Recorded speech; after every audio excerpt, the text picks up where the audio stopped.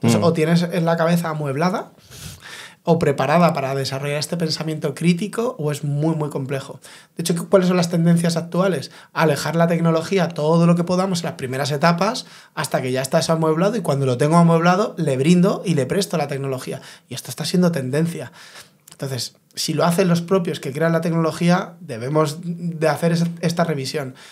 O sea, el impacto, por ejemplo, que tiene las primeras etapas del neurodesarrollo, el uso de la tecnología es salvaje. O sea, salvaje retraso en, el lenguaje, retraso en los procesos lectoescritores, eh, problemas atencionales. Esto ya se está empezando a ver. Problema de atención es increíble, ¿no? Brutal, claro, pero tú, imagínate qué déficit le estoy generando yo a mi hijo cuando nos vamos a comer a un restaurante y le planto los dibujos eh, durante la cena. es que es una salvajada.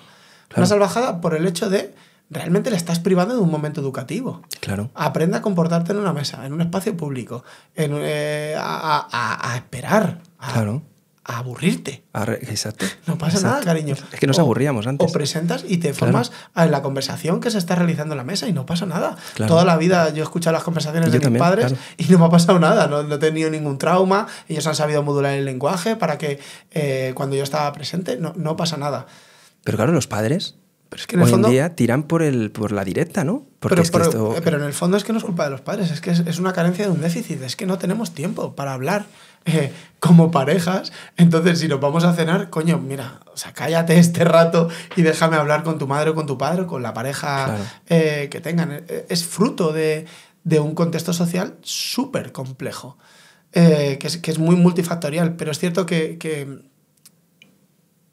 que cuanto menos mejor en los primeros años. Esta sería una recomendación clara mía. El resumen. Clara mía. Y esto se ve, por ejemplo, en la tipología de dibujos que se hacen. ¿no? Yo soy de los 80 y mis dibujos iban súper despacito. O sea, yo con mis colegas, eh, para que Oliver marcara un gol, pasaban muchos días. Sí, sí. Pero es que ahora los Transformers van a toda hostia. Y esto afecta en, su percepción de las cosas. Y la realidad es que todo lo que les va a ocurrir, aprender es un proceso lento, en el que tienes que esperar a obtener frutos y tienes que dedicarle tiempo. Por leer una cosa en un momento no la has aprendido, cariño, lo siento, por más que quieras, eh, no es.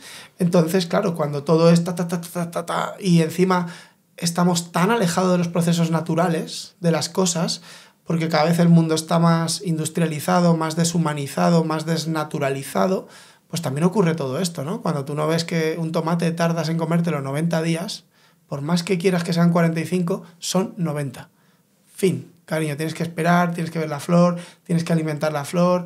Entonces, eso que es tan, tan bonito de ver, le ocurre en todos los procesos. Y lo que ven es que es todo inmediato, todo ya, todo ya. Entonces, esto tiene una repercusión directa en, su aprendizaje. Lo quieren todo y lo quieren ya. Y si no, se frustran. Y si no es que no me motivas. Y si no es que lo que me estás haciendo no está bien hecho. Pero ¿cuál es la mejor forma de aprender? Despacio. Porque yo, yo Esto lo hablabas tú con Oscar Puyol el otro día, ¿no? ¿Qué es, lo, ¿Qué es lo mejor que tiene la gastronomía? Los guisos. Sí. ¿No? Que es lo que tú flipas, que tiene un proceso, que lo vas corrigiendo según lo estás haciendo. Sí. Pues aprender es exactamente igual, es guisar a fuego muy lento. Muy lento. Entonces tú vas corrigiendo y lo vas poniendo. Y, ah, ahora está bien, ¿no? Y primero lo has puesto en remojo porque tienes que ponerlo en remojo y generar los contextos. Entonces, ¿qué es lo mejor? Hacer cosas despacio, hacer cosas contextualizadas, hacer cosas que sean socialmente relevantes, que tengan que ver con sus intereses reales. Los chavales tienen intereses que flipan.